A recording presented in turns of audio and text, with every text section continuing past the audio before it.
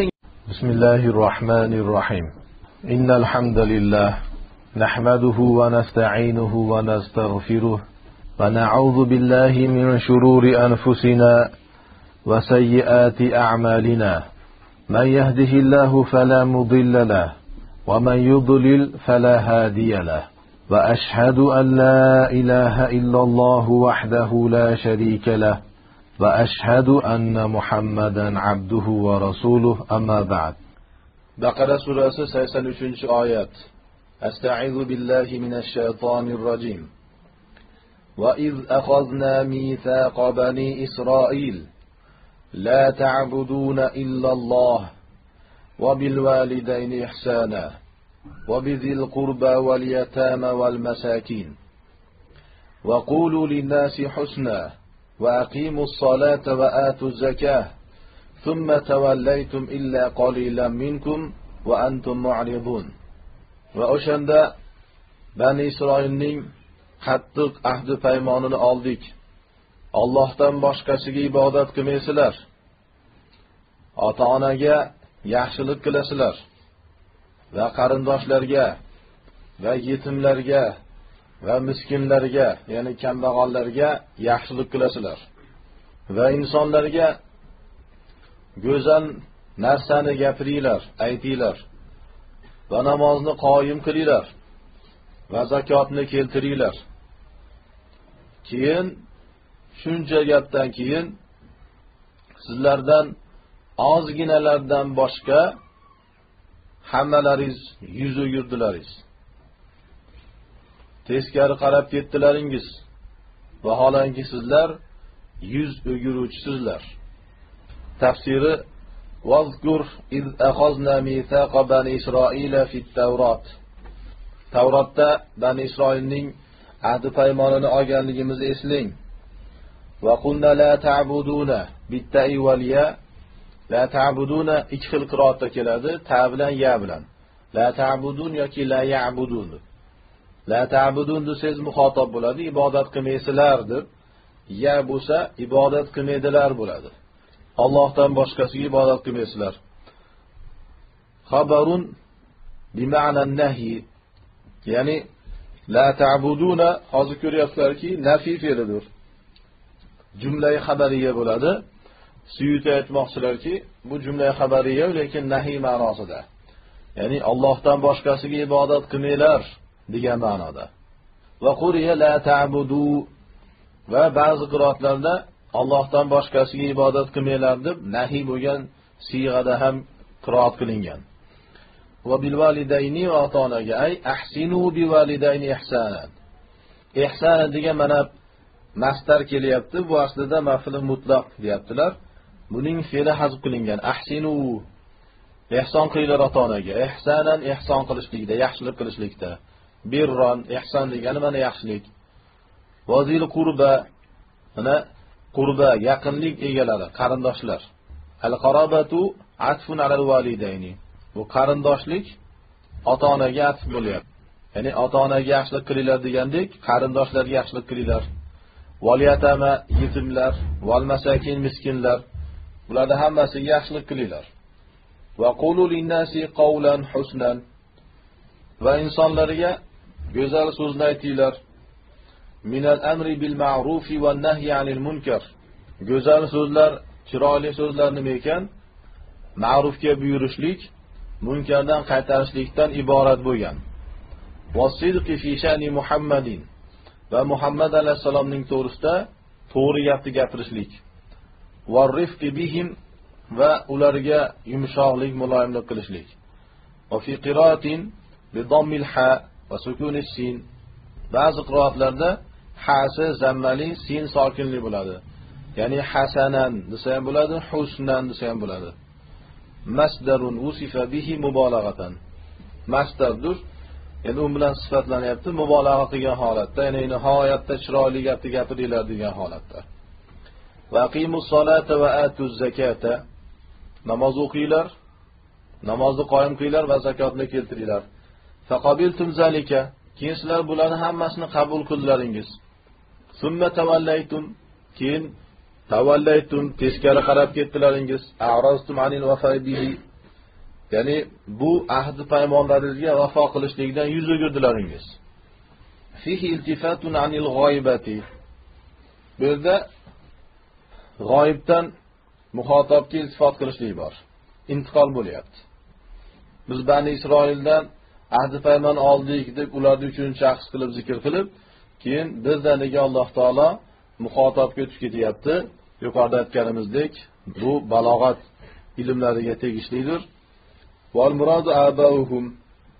Va bu yerdagi oyatda iroda qilingan kishilar esa payg'ambarimiz alayhissalomning zamonida mavjud bo'lgan yahudiylarning ota bobolari illa qolila minkum lekin sizlarda ozgina kishilar yuz o'girmadi va antum mu'riduna anhu va vaholanki sizlar yuz o'giruvchisizlar vafodan xuddi ota bobolaringizga o'xshab sizlarga bu narsa ota kasb bo'lib qo'ygan. Ota bobolaringizdan meros bo'lib qolgan deyapti alloh taolo. Kengroq tafsiri alloh subhanahu va taolo mana yana eslatyapti. Eslanglar. Avvalo bani isroil eslasin islom ummati eslasin va butun insoniyat eslasinki tarixda mana bunday voqealar bo'lgan edi va hamma ibrat olsin. Biz bani isroilning misoqini qattiq ahdi paymonini olgan edik ular bizga ahdi paymon bergan edi yuqorida o'tdi qanday ahdi paymonlar bo'lganligi. Tavrotga allohning kitoblariga mukammal holatda amal qilishlik. Mana bu yerda yana alloh taolo zikr qilyapti. Ular nimaga ahdi paymon bergan edi la ta'buduna illalloh. Allohdan boshqasiga ibodat qilmaysizlar deyapti alloh taolo. Ya'ni faqatgina allohga ibodat qilasizlar demak tavhid faqatgina allohga ibodat qilishlik. Allohdan boshqasiga u payg'ambarmi, farishtami, ruhmi, jinmi, avliyomi, shahidmi, olimmi, nima bo'lsa bo'lsin, Allohdan boshqasiga zarra qadar ibodat qilmaslik butun insoniyatga amr qilingandir. Bu faqatgina islomning, ya'ni bizni dinimiz Muhammad alayhissalomning olib kelgan narsasi emas, balki butun payg'ambarlarning buyrug'i mana shu edi. Butun payg'ambarlar shunga buyurgan. Mana Alloh taolo zikr qilyapti. Hozirgi bizni zamonimizda mushrik bo'lib qolgan yahud va nasroniylar to'g'risida aytayaptiki, ularga biz Allohdan boshqasiga ibodat qilmanglar degan edik. Ular faqatgina Allohga ibodat qilamiz, Allohga shirk keltirmaymiz deb so'z bergan edi. Ahdi paymon bergan edi ular. Va ota-onaga yaxshilik qilishlik. Buning uchun ham ahdi paymon berishgan edi. Ota-onaga yaxshilik qilishlik butun shariatlarda farz qilingan. Lekin hozirgi yahud nasroniylarni qarang, ota-onasiga qaramaydi. Qarib qolgandan keyin agar ota-onasidan bir daromad kelmasa, bir merosi bo'lmasa, ko'chaga haydab yuborishadi. Ularda eng insofli farzandlar ota-onasini shu qarilar uyiga olib boradigan farzandlar. Vaholanki ota-onaga yaxshilik qilishlik ularda ham farz edi. Qarang, hozir musulmonlar kimga ergashyapti? Yahud nasoylar bizga kelish kerak edi. Chunki bizning yo'limiz haq va bizdagi masalalar ularga ham farz qilingan edi. Lekin hozirgi musulmonlar shu darajada johil bo'ldiki, dinini tark qilgan, jahannam yo'lini tanlagan, jaholat yo'lini tanlagan insonlarga ergashib ketishyapti. Vazil qurba qurba degani yaqinlik, yaqinlik egalariga. Ya'ni qarindoshlarga yaxshilik qilishlik, ota-onaga yaxshilik qilishlik masalasini bilasiz. Bizda ulamolar ko'p aytadiki, ota-onaning haqqi shunchalik balandki, Alloh subhanahu va taolo Qur'onning bir necha yerlarida o'zini haqqidan keyin ota-onaning haqqini zikr qiladi. Haqiqatdan ham shunday. Ota-onaning haqqi Allohning haqqidan keyingi o'rinda turadi. Va bu masala faqatgina bizning shariatimizda bo'lgan emas, balki butun shariatlarda buyurilyapti. ollohni haqqidan keyin ota-onaning haqqi kelyapti. Shuning uchun ehtiyot bo'lishlik kerak. Agar mabodo bizni ota-onamiz fosiq bo'lsa, yo munofiq, yo kofir bo'lsa, biz ularga shar'iy masalalarda itoat qilmaymiz. Allohga va rasuliga isyon bo'ladigan narsada itoat qilmaymiz, ammo ehsonni tark qilmaymiz. Ularga ehson qilishligimiz kerak. Ularga yaxshilik qilishligimiz farz. Ularga yaxshi muomala qilishligimiz farz. ularni kofir deb munofiq deb yoki fosiq deb mushrik deb ularga qo'pollik qilishlik joiz emas otangizga qachon qo'pollik qilishligingiz joiz bo'ladi jihod maydonida qarama qarshi kelib qolsangiz. Otangiz kufr safida turib islomga qarshi jang qilyapti turgan bo'lsa siz islom safida turib islomni himoya qilib jang qilyapti turgan bo'lsangiz shunda qarama qarshi kelib qolsangiz shunda otangizga qo'pol muomala qilsangiz ya'ni uni o'ldirsangiz joiz bo'ladi. Lekin shunda ham ulamolar aytadiki iloji bo'lsa yoningizdagi odamga tark qiling. Ya'ni kuchi yetadigan bir odamga tark qilingki ya'ni meni otamni sen o'ldirgin men o'ldirgandan ko'ra desin deydi. Bo'lmasam ya'ni to'g'ridan to'g'ri o'zi jang qilib uni o'ldirsangiz bo'laveradi. Jang maydonida. Boshqa maydonlarda esa shirin gapirib go'zal axloq bilan da'vat qilishligingiz kerak. Albatta uni ma'siyatiga sabr qilmaysiz gunohiga sabr qilmaysiz. Shu shirkini rad qilasiz shirin gapirgan holatda. Joiz emas qo'pollik qilishligingiz ularga qabohat qilishligingiz qattiqlik qilishligingiz joiz emas. Ota onaga ehson qilishlik qarang ehson deyapti alloh taolo. Yaxshilik qilishlik yaxshilikni ham eng go'zalini qilishlik farz bo'lyapti. Vazil qurba yaqin qarindoshlarga yaqinlik qilishlik yaxshilik qilishlik ya'ni avvalo silay rahm qarindoshlik aloqalarini bog'lashlik qarindoshlik aloqalarini uzib agar mabodo ular fosiq bo'lsa dinsiz bo'lsa dindan xabari bo'lmasa siz ham dinsiz bo'ldingizmi ularga dinga amal qilmayapti. Siz amal qiling. Siz aloqalarni kesmang. Qo'lingizdan kelganicha harakat qiling ularni da'vat qilishlikka nasihat qilishlikka. Ularni tark qilib ketmang joiz emas.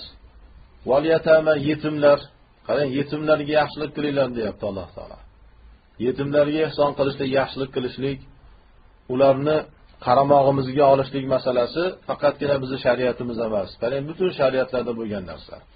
Val masakin miskinlarga yaxshilik qilishlik kambag'allarga yaxshilik qilishlik. Bu sinflarni o'rtasida hikmatlar bor.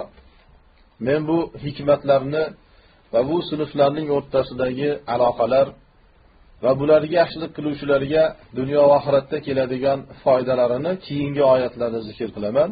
Chunki keyingi oyatlarda ayni masalalarni alloh subhanahu va taolo bizga xitob qilib aytadi. Bizni shariatimizda ayni narsalar farz bo'lganligi aytilinadi o'sha yerda bayon qilamiz. Bu yerda hozir xabar berilyapti. Bani isroilda nima to'g'risida ahdi paymon olinganidir mana bunday narsalar to'g'risida edi va bulardan keyin husna va yaxshiliklarga insonlarga yaxshi go'zal narsalarni aytinglar deyapti. Ana yomon narsalarni gapirishlik man qilinyapti butun payg'ambarlar faqat yaxshilikni o'rgatishgan. Hatto iso alayhissalom bir kuni ko'chada ketayotib turuvdilar yo'llarini o'zgartirdilar. Shunda yonidagi havoriylar aytdiki siz doim mana shu yo'lda ketardingiz. Nimaga yo'lingizni o'zgartirdingiz? deganda aytdilarki yo'lda uzoqdan ko'rdimki bir to'ng'iz bor ekan. Men shu to'ng'izga yaqinlashganimda to'ng'izga nafratimdan og'zimdan bir xunuk kalima chiqib ketmasin dedimda yo'limni o'zgartirdim deyaptilar. Hozirgi nasroniylar to'ng'izni o'zlariga halol qilib olgan lekin iso alayhissalom to'ng'iz yurgan ko'chadan yo'lini o'zgartirib yuboryaptilar. To'ng'izga nisbatan bir qabih kalimani og'izlaridan chiqishligini xohlamayaptilar. Butun payg'ambarlar axloqi oliy bo'lgan insonlar edi. Va butun payg'ambarlar o'zini ummatiga amr qilgan. Va qulu linnasi husna. Butun insonlarga husn. Eng go'zal eng chiroyli narsalarni aytinglar. Nima degani husn degani go'zalliklar? Mana suyuti aytdilar ma'rufga amr qilishlik go'zal narsalarga buyurishlik qarang da'vat tabliğ butun ummatlarga farz bo'lgan edi. Munkardan nahiy qilishlik munkardan man qilishlik. Siz hozir insonlarni o'rtasidagi munkarlarni hammasini bir tekshirib ko'ringda. Masalan zino masalasini tekshirib ko'ring. Islomda qattiq man qilganligi ma'lum. Hozir endi dinsizlar allohning ashaddiy dushmanlari allohning harom qilgan narsalarini insonlarga chiroyli ko'rsatishlikka harakat qilishyapti. Lekin zino to'g'risida nasroniylarni bir tarixini tekshirib ko'ringchi tarixda qanday muomala qilgan? Yahudiylarni tarixini bir tekshirib ko'ring. Undan oldingi insoniyatni tarixini bir tekshirib ko'ring. Butun payg'ambarlar butun ummatlar nafrat qilgan bu amaldan. Yoki o'g'irlik yolg'on hammasi shunday. Hatto mana hozirgi vaqtda musulmonlarga haromligini ishontirolmayapsiz tushuntirib berolmayapsiz. Sigaret. Sigaretni tarixini bir ko'rsangiz sigaretni yoyilishligi tarqalishligi nasroniy diyorlardan boshlangan bo'lsa ham ammo ko'rsangiz ularni fosiqlari dinsizlari boshlagan va dindorlari nasroniylarning o'sha zamondagi sigaret yangi chiqib tarqalayotib turgan zamondagi dindorlari ularni domlalari sigaretni harom deyishib sigaretni tarqatyapti turganlarga jazo berishgan qamashgan o'ldirgan qattiq malomat qilishgan ya'ni bu qabohatlar bizni islom dinida rad qilinyapti turgan narsalar faqatgina bizga xos emas. Butun ummatga yuklangan edi bu masalalar. Biz shu masalalarni ogohlantirishligimiz kerak ularga eslatishligimiz kerak ey yahud nasroniylar. Sizlarni uxlatdi sizlarni jaholat botqog'iga botqizib qo'ydi bu domlalaringiz mullalaringiz. Ko'zlaringizni ochinglar. Haqiqat bu deyishligimiz kerak.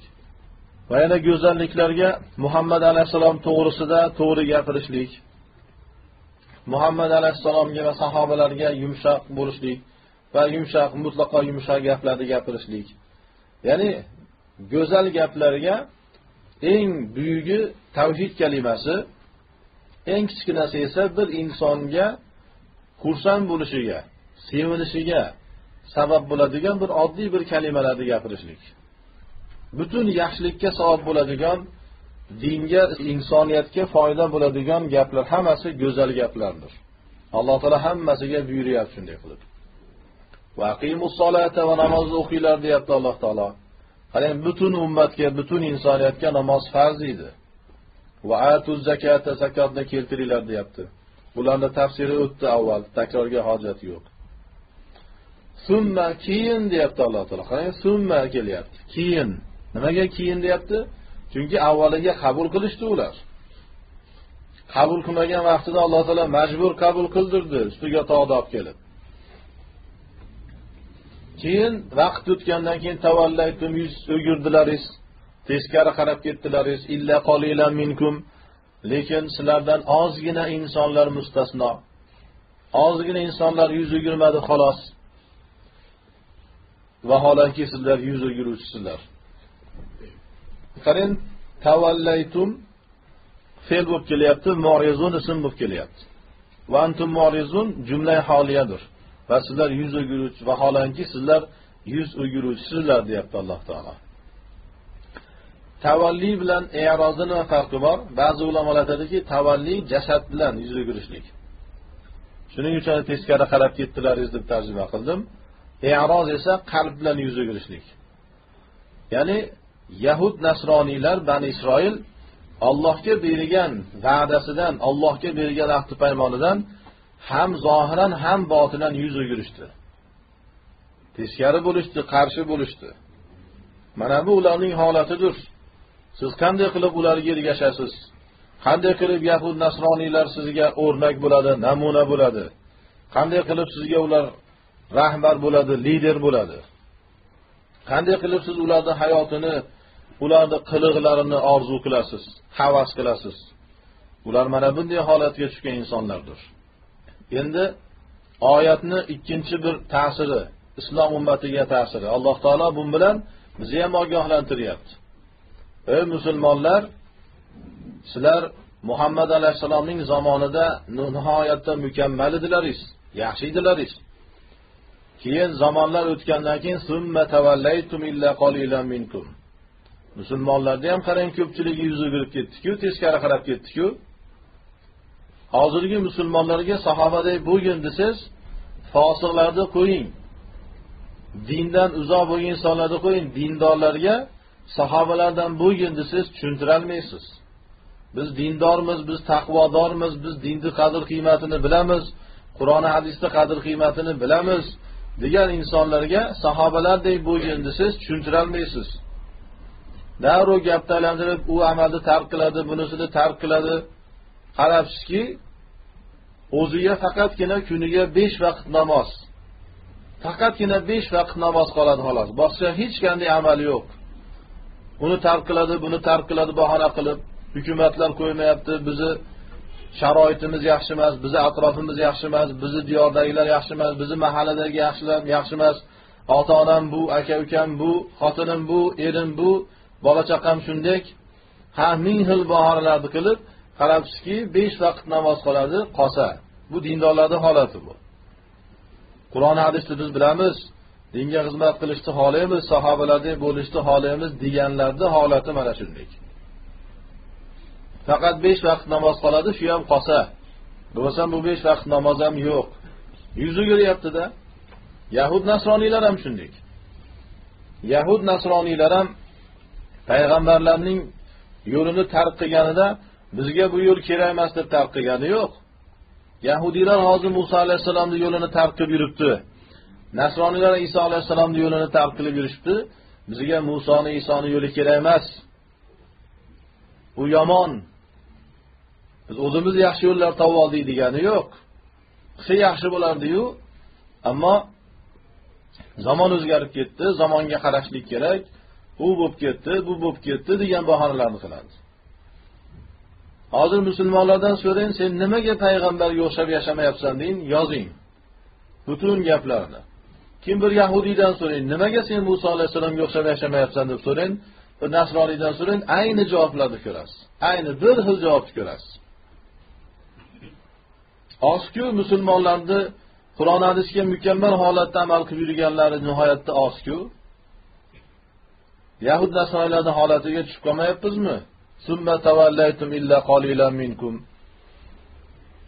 Sizlardan ozgina kishilar mustasno ya'ni ozginadan boshqa hammalaringiz yuz o'girdilaringiz teskari qarab ketdilaringiz deyapti alloh taolo. Va antum vaholanki sizlar yuz o'giruvchisizlar qarang yuz o'giruvchi deb ism aytyapti ya'ni doim shunday qilyapsizlar sizlar. Sizlarni odatlaringiz sizlarga odat bo'lib qoldi bu narsa. Hozirgi musulmonlar o'xshab qolmayaptimi yahud nasroniylarga? Doim yuz o'girishlik aytavering bu amal harom bu joiz emas desangiz yana baribir qilaveradi.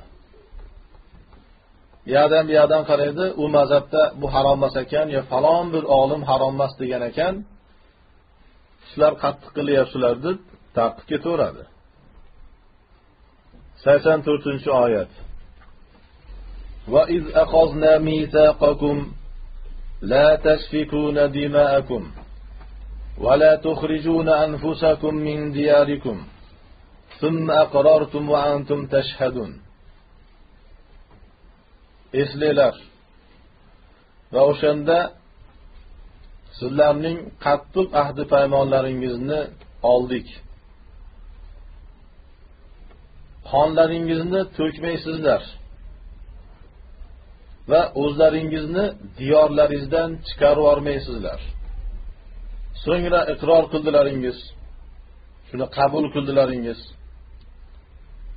va vaholanki sizlar guvohlik berasizlar. Tashhadun guvohlik berasizlar. Guvoh bo'lyapsizlar. Ya'ni guvohlik bergan holatlaringizda guvoh bo'lgan holatlaringizda iqror qildilaringiz tafsiri. O'shanda sizlarning qattiq ahd paymonlaringizni oldik va sizlarga aytdikki la tasfikuna dimakum turiqunaha biqatli ba'dikum ba'dan ba'zilaringiz ba'zilaringizni o'ldirishlik bilan qonlaringizni oqizmaysizlar. Tasfikun oqizmoq ya'ni va to'kmoq degan ma'noda. Vala tukhrijuna anfusakum min diyarikum. Va o'zlaringizni diyorlaringizdan chiqarmaysizlar la yukhrij ba'dukum ba'dan min darihi. Ba'zilaringiz ba'zilarini o'zining diyoridan chiqarmasin yeridan. Keyin sizlar o'sha misoqni ahdi paymonni qabul qildilaringiz. Va sizlar o'zlaringizga o'zlaringizni nafslaringizga guvohlik beryapsizlar. Alloh taolo yana muhim bir masalani eslatyapti. Bundan oldingi oyatda butun go'zalliklarni bayon qildi. Endi bu oyatda alloh taolo aytyaptiki eslanglar yana bir sizlardan ahdi paymon olgan edik qattiq so'z bergan edilaringiz.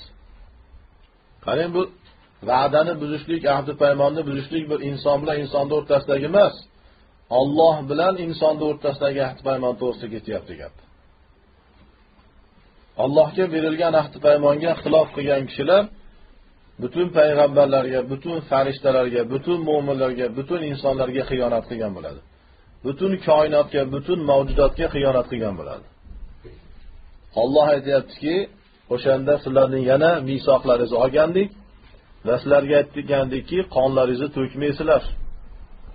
Qarang qonlaringizni to'kmaysizlar degani bir birlaringizni o'ldirmaysizlar degani. Nahiy qilyapti mana. Yuqorida go'zalliklarga buyurdi. Endi bu yerda nahiy qilyapti. Odam o'ldirishlik joiz emas. Odam o'ldirishlik butun shariatlarda harom qilingan. Hali keyingi oyatlarda ko'rasiz. Butun payg'ambarlar odam o'ldirishlikka juda qattiq qarshi turganlar. Demak yahud nasroniylar agar mayli bizni dinimizni qabul qilmasa bizni shariatimizni qabul qilmasa o'zlarini shariatiga amal qilmaydimi? O'zini shariatiga amal qilsin. O'zini shariatiga ko'ra ham tavrot injilni hukmiga ko'ra ham odam o'ldirishlik qattiq gunohku. Nimaga shariatiga amal qilmayapti? Nimaga payg'ambarining tavsiyalariga buyruqlariga amal qilmayapti? Va ular allohga ahd berishgan edi biz qon to'kmaymiz odam o'ldirmaymiz deb. Ammo ular qarang o'zlarini o'zlari o'ldirishyapti. Dimaakum. Alloh taolo xitob qilyapti qonlaringizni deyapti qarang. Yuqoridagi oyatlarda ham aytdik bir qabila yoki bir jamoat bir biri bilan urushligi bir birini o'ldirishlik bo'ladi. Masalan musulmonlar millatparastlik qilib bir birini o'ldirsa e, bir biri bilan jang qiladigan bo'lsa falon millat falon millat emas ular o'zini o'zi o'ldiryapti turgan bo'ladi. Allohning huzurida shunchalik og'ir bu. Yoki bir qabila ham islomda ular ham bir qabila ayni bir millat. U qarindosh bo'lib turib yoki bu qarindosh bo'lib turib falon akaning uka farzandlari bu falon ukaning farzandlari bo'lib bir jang chiqib qoldi o'rtada. Qon to'kishadigan bo'lsa ular o'zlarini o'zlari o'ldirishyapti. Shuning uchun alloh aytyaptiki la tasfikuna dimaakum qonlaringizni to'kmaysizlar. O'zlaringizni qonlaringizni to'kmaysizlar. Insonda agar zarracha aql bo'lsa bu hukmlarni mahkam ushlaydi alloh taolo butun insoniyatni qonini himoya qilyapti. Insonni o'zini himoya qilyaptiku. Lekin inson shu darajada johilki baribir bu yaxshilikni bilmaydi shaytonni yo'lidan ketadi. Yahud nasroniylar ham bir biri bilan jang qilishdi. Hozirgi vaqtda islomni qarshisiga islomga qarshi kurashlik uchun birlashgandek ko'rinyapti. Baribir ichida dushman ular. Va o'rtalarida jang bo'lsa ham bildirmayapti ular. Albatta o'rtalarida jang bo'lyapti. Ular aqlli bo'lib qolgani yo'q ular. Taqvoda bo'lib qolgani yo'q bir biri bilan jang qilmasa. Jang qilishyaptiyu lekin aytmayapti. Chunki axborot vositalari ularni qo'lida ha deb musulmonlarni bir biri bilan urushganligini ko'rsatyapti.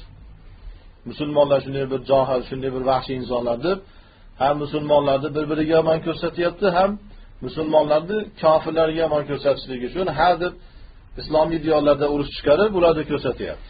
O'zlarida ham urushlar bo'lyapti aytmayapti ularni. Ko'p jinoyatlar bo'ladi yashiradi ularni. Va tarixiga qarab ko'ring yahud nasroniylar o'zini tarixida ham qancha janglar qilishdi. Qancha qon to'kdi ular. Bir biri bilan qancha janglar bo'ldi.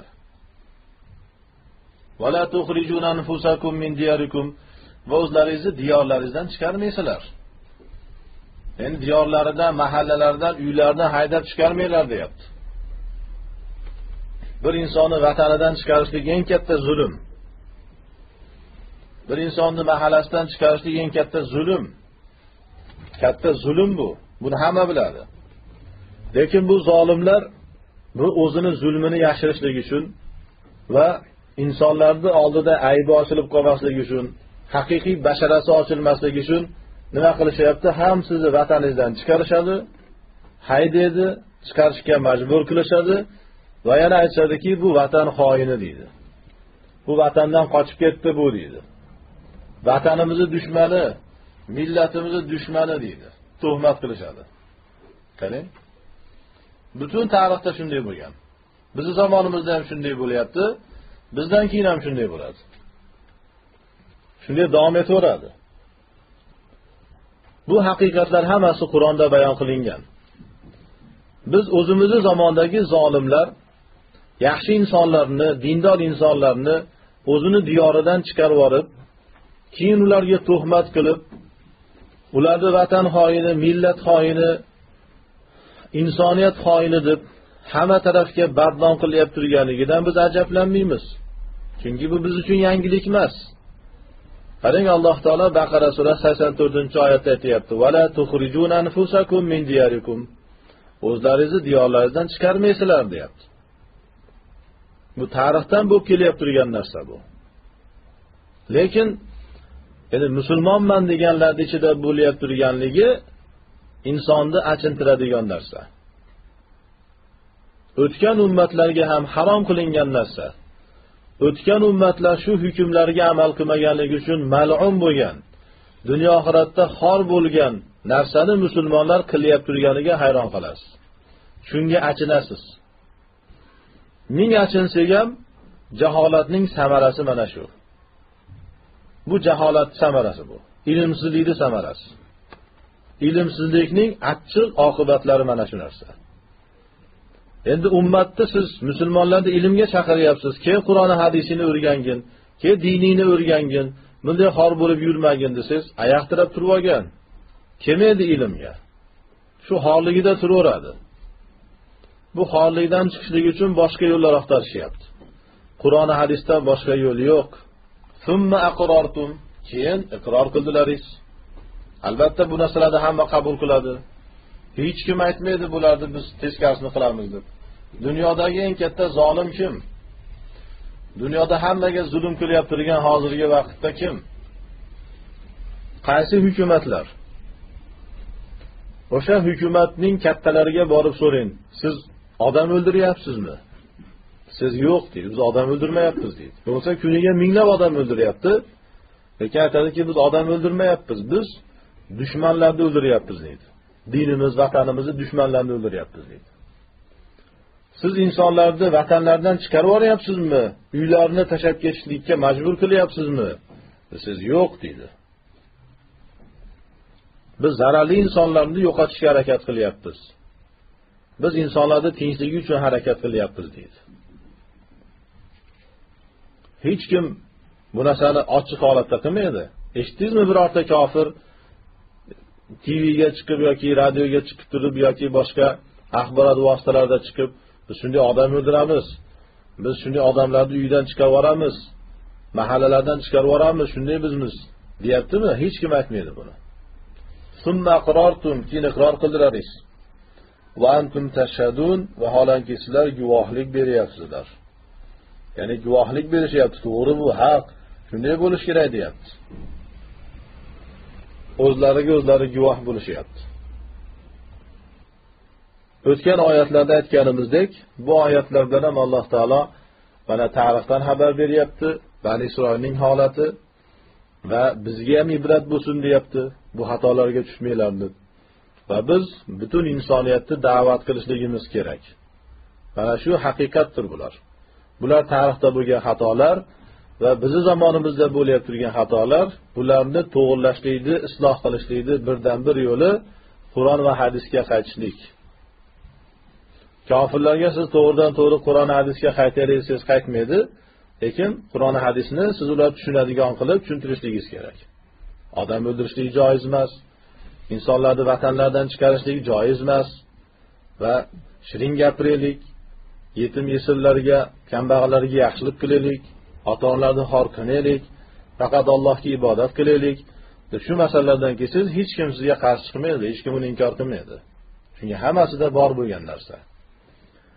Alloh subhanahu va taolo bu haqiqatlarga amal qilib va butun dunyoga da'vat qilishlik